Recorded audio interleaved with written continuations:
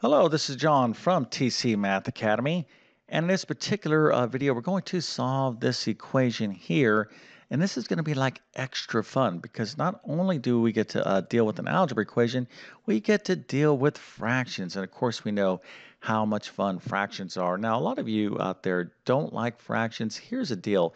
If you're going to be uh, dealing uh, with mathematics at any level, arithmetic, elementary math, uh, middle school math, high school math, you have to get really comfortable with fractions.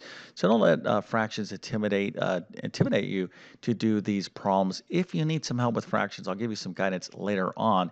But if you can solve this equation, go ahead and put your answer into the comment section. I'm going to show you the correct solution in just one second. And then, of course, I'm going to walk through uh, the solution process step by step.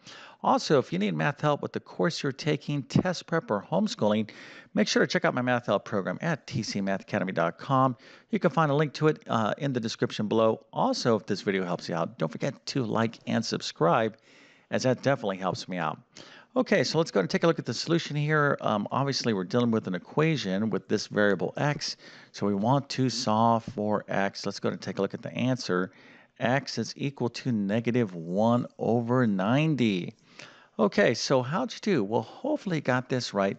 If that is the case, let's go ahead and celebrate by giving you a nice little happy face, an A plus, a 100%, and a few stars, so you can tell your friends and family that you solved a nice, interesting algebra equation with fractions. They'll be so impressed with that information.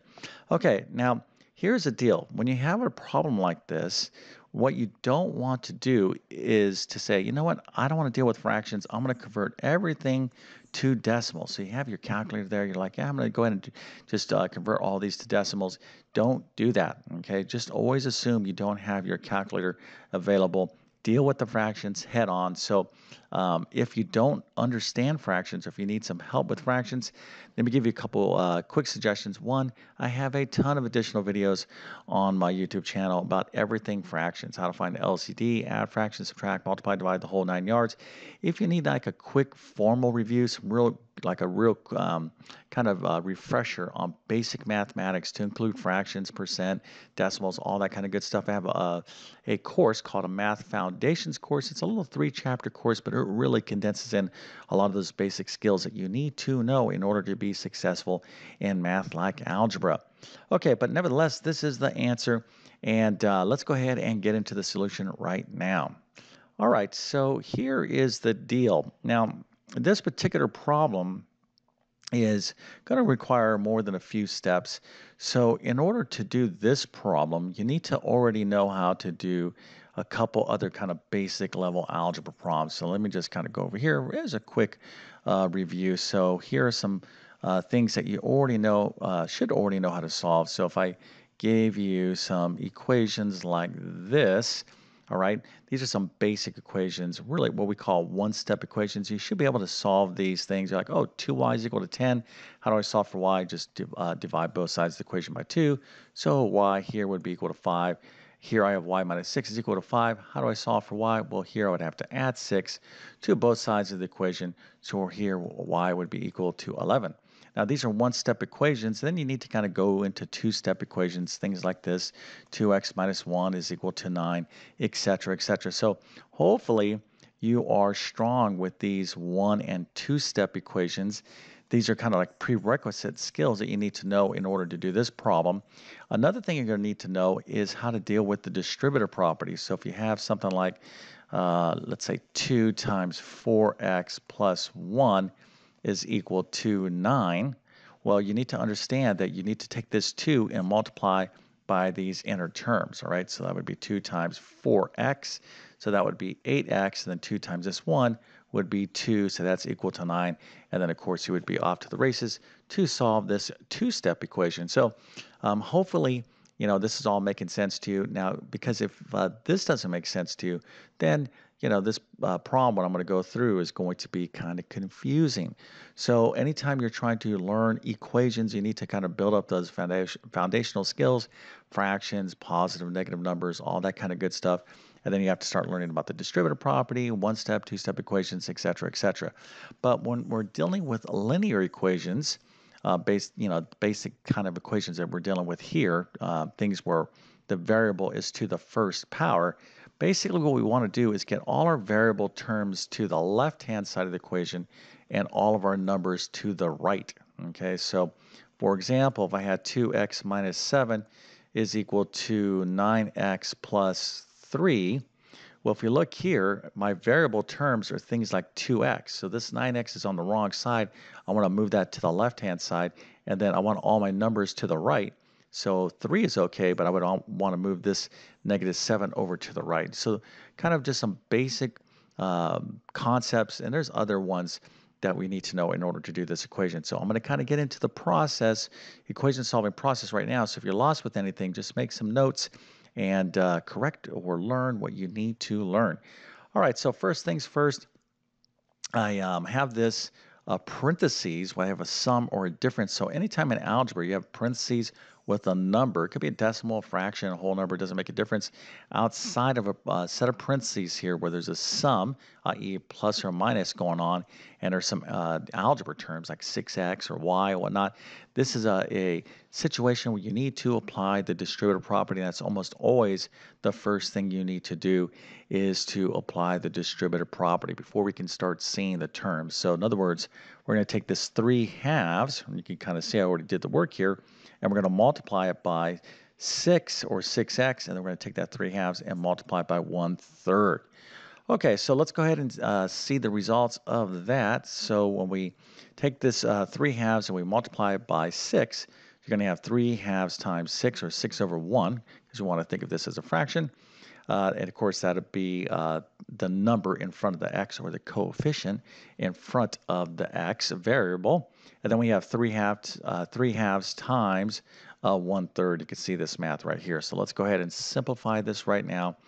And you want to show your work just like I'm uh, showing it like right here. You don't want to just do this stuff mentally.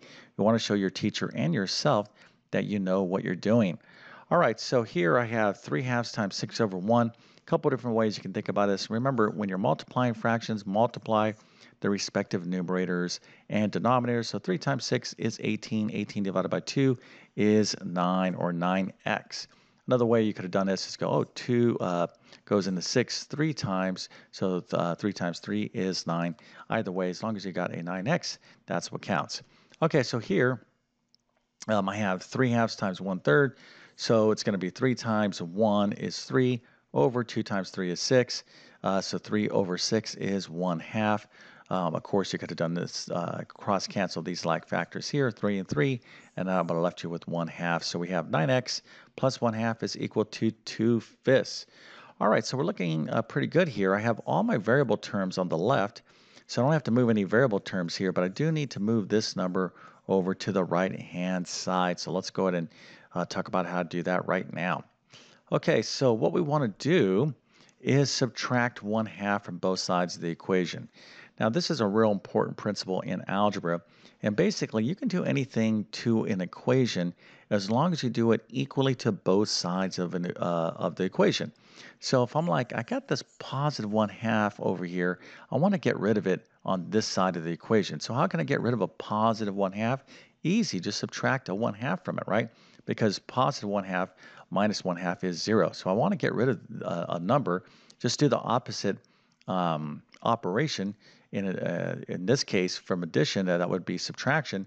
But if I'm going to subtract one half of uh, one half from this side of the equation, I have to do it equally on this side as well. Okay, so that is the main kind of one of the uh, core concepts of solving equations in algebra. So but by doing this, I'll remove the number on the left-hand side and I'll get that number on the right-hand side. So now we kind of want to add down in a column manner. So 9x plus nothing is simply going to be a 9x. And then a positive 1 half minus 1 half is 0. I don't need to write a 0 there. It just kind of disappears. So I have uh, only 9x now on the left-hand side. And so now I have 2 fifths minus 1 half or 2 plus, uh, plus sorry, 2 fifths plus a negative 1 half or 2 fifths minus 1 half. So we'll just uh, write that like this for the time being, okay? Because we're going to have to do a little bit of work to uh, simplify this fraction situation, right? We're going to subtract these two fractions. 2 fifths minus, uh, uh, 2 over 5 minus 1 half, or 2 fifths minus 1 half. So we're going to have to find the lowest common denominator, right? So at this point, you need to know something about adding and subtracting fractions. You cannot add or subtract fractions unless these lovely numbers down here called the denominators are the same. In this case, these are not the same, but we could find a common denominator. Matter of fact, we could find the lowest common denominator. And uh, this particular case, it's going to be 10. So we need to rewrite each of these fractions so the LCD is 10. In other words, we have these two fractions. We need to uh, write these denominators where they have a 10 in them. So how can I take uh, this 5 and make it into a 10? Easy, just multiply it by 2, right? So 2 times 5 becomes 10. But if I multiply the denominator by 2, i got to multiply the numerator by 2. So that's going to be 2 times 2 or 4. Okay, so 4 tenths is the same thing as 2 fifths. But what's great about this fraction, it has our lowest common denominator in it. All right, so here we have 1 half. How do I make that 2 into a 10? Just multiply it by 5. So I got to multiply uh, the numerator by 5, so I'm going to get 5 over 10. So that is what this fraction is equal to. So now, at this point, uh, to subtract the fractions when the denominators are the same, we simply uh, add or subtract uh, the respective fractions in the numerator. So this is going to be 4 minus 5. You got to be very careful here. I'll make this very explicit. 4 minus 5 is what? Well, that's the same thing as 4 plus negative 5. So you got to know something about positive and negative numbers. So 4 plus negative 5 is going to be negative 1 or negative 1 over 10. Okay, so again, when you're dealing with fractions, you may need to, uh, to kind of do some side work. Try to keep your work off to the side of your solution. In other words, as you're working your solution right here, don't do a bunch of scrap work. Now, in my case, I don't really have that much room because I'm trying to keep the numbers nice and easy to be uh, be able to read. But uh, you can just take a piece of scrap paper, do your fraction work over there, then plug in your answer. Try to keep it on the same piece of paper just in case you get the wrong fraction answer. But try basically try to kind of, you know, keep your solution process going and any other kind of a little um, uh, calculations you need to do, put them off to the side and kind of you know put the results of that in here. Now you know writing the solutions to equations is um, a habit you know of neatness and organization. So neatness, all that stuff counts big time. Okay, that's why you want to use a pencil and not a pen for obvious reasons because it's easy to erase anything that you uh, wrote incorrectly. Okay, so here uh, finally we have the equation 9x is equal to negative 1 tenth. Let's just make sure we understand what the deal is, right?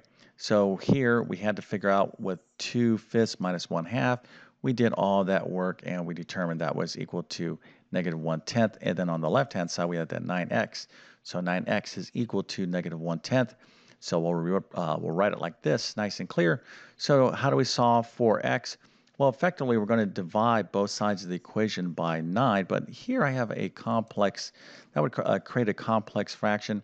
So um, alternatively, what you can do, instead of dividing both, or thinking um, that you need to divide both sides of the equation by 9, what you can do in its equivalent as um, as dividing both sides of the equation by 9 is multiplying both sides of the equation by 1 ninth.